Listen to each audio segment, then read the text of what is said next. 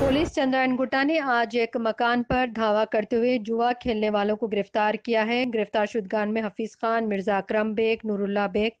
मतीन पाशा शेख फरीक मोहम्मद वाजिद और शेख अली शामिल है इनके खिलाफ